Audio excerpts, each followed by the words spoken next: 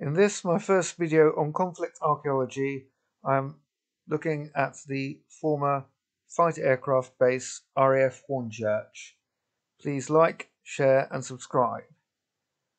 RAF Hornchurch is a former Royal Air Force sector station. The site today is the Ingrebourne Country Park, managed by the Essex Wildlife Trust. The airfield was known as Sutton's Farm in the First World War after the farm that preceded it. Its existence was for the protection of London, being 14 miles north northeast of Charing Cross. The airfield closed shortly after the war ended, but was requisitioned in 1923 by the expanding Royal Air Force and reopened as a larger fighter station in 1928. The airfield was intended to cover both London and the Thames Corridor from German air attacks and was a key Air Force installation until closing in 1962. It was in 1915 the London Air Defence Area was established. Airfields were built around London for the defence in response to increasing threats from airships. Sutton's Farm and Hill Farm, near what became the Second World War airfield at Fairlop to the northeast, were selected to cover London's eastern approaches. Sutton's Farm became operational on the 3rd of October 1915.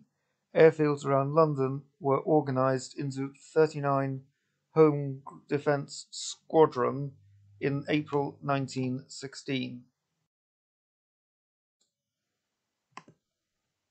The First World War ended with the Treaty of Versailles in 1919, and soon afterwards Sutton's Farm was deemed superfluous and closed.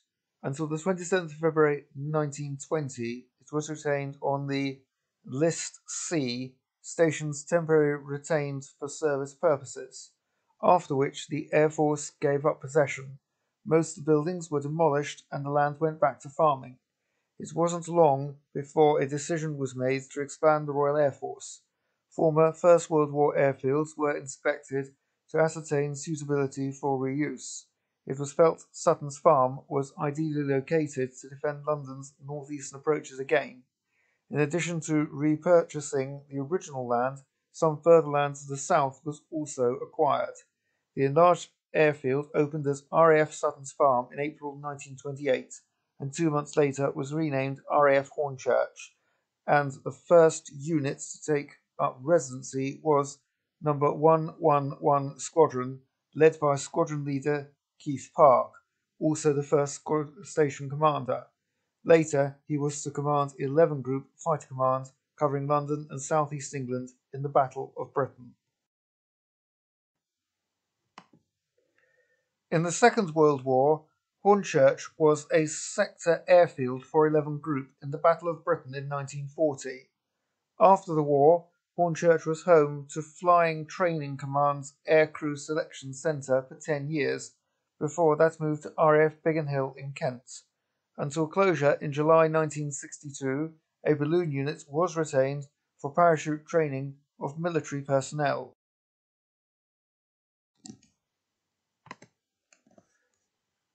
Most of the former administrative and technical areas, including the three hangars, were demolished in the 1960s and a housing estate built on them.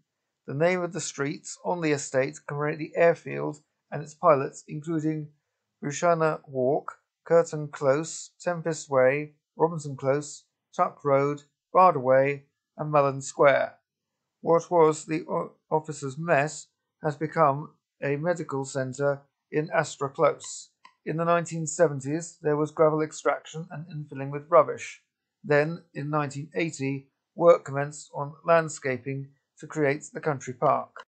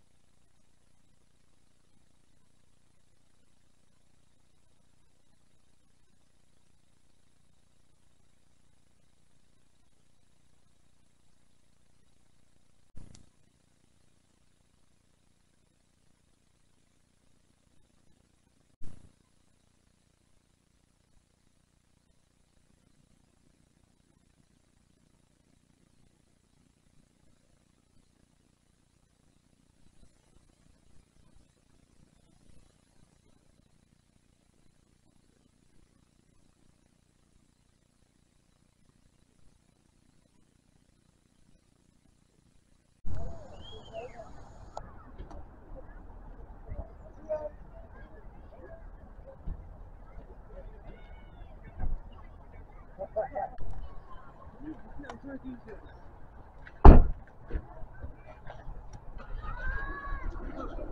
you.